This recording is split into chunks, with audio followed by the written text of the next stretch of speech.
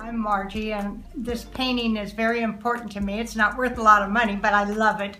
And Scott fixed the frame and the picture, and it's fabulous, and I'm thrilled with it. And it'll get me through my lifetime. What my kids do with it, that's their business.